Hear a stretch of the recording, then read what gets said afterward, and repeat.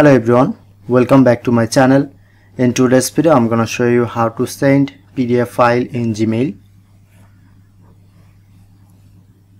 Now i'm showing a very simple method step by step so follow my all process very carefully. First of all go to file manager. Go to document and select a pdf file.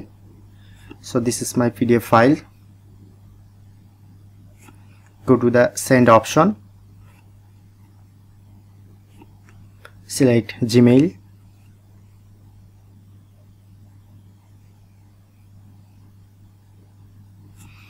And here you can easily change your email address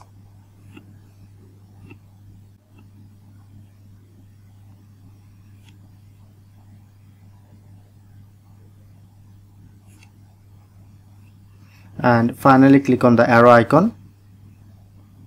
Okay now done. So that's how we can easily send pdf file in gmail